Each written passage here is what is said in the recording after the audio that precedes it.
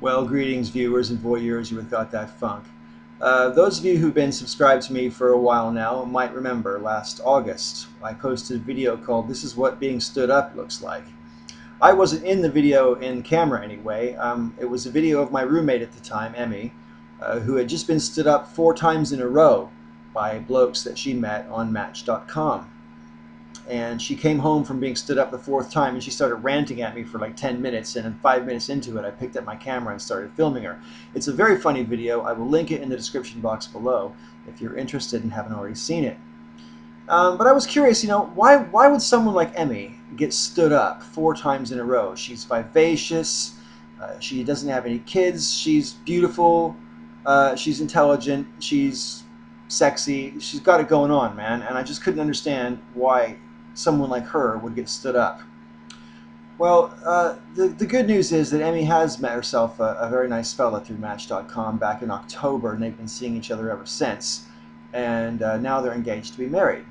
And she has insisted to me that uh, online dating is the way forward.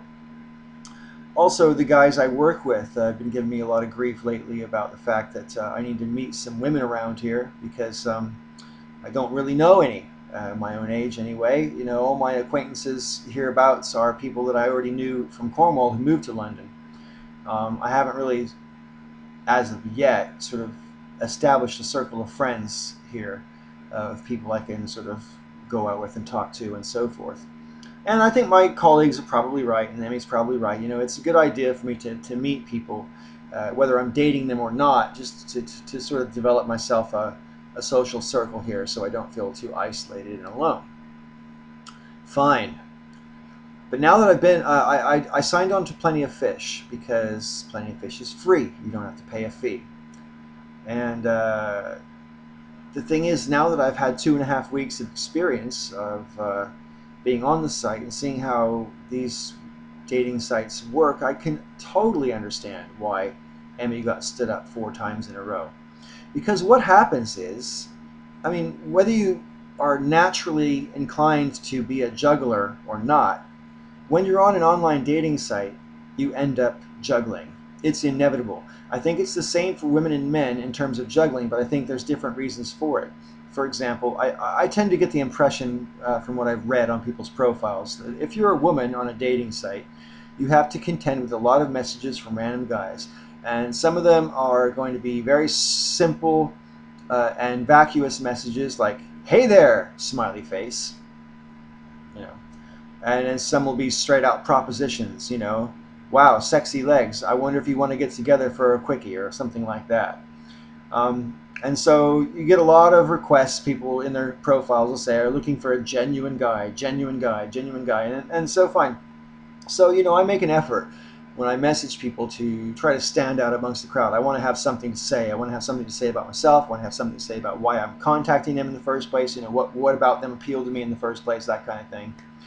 Hoping that I get you know some responses. But what ends up happening is you will get responses eventually. You, you, you the success rate is probably one out of five that people that I contact will will reply, and out of those, that 20% who actually replies, only 20% of those are people who uh, you know, are replying in the, in, in the affirmative and, and, and seem like you might want to strike up some. But what happens when it's more than 20%, see? You end up you end up chatting up a whole bunch of birds that you don't necessarily know and you don't know whether you want to date or not. This is why people get stood up, see? It turns you into a juggler. And I don't want to be a juggler. I've never been a juggler in my in my offline life when it comes to dealing with women, and I certainly don't want to juggle women online either. So is that just the nature of online dating? Is it this way for both men and women? Do you just have to keep people on the back burner the whole time uh, while you sort of favor? Uh, how does it work? I mean, have you guys tried online dating? What the fuck, man? I'm utterly vexed. I don't know if I'm doing it right, and I don't really know um, uh, whether I even want to do it. But I do know that uh, you know getting some companionship uh, of my own generation is certainly a good idea. Um, whether that's romantic companionship or not, I don't know. But uh, if you've tried online dating, uh, either with or without success, I would be very interested to hear your story. So feel free to leave me a lengthy comment in the comment section below, or a video response would be more than welcome. and uh, I will definitely watch it. I want to thank you for indulging me with this video, and until next time, may all your ups and downs be ups.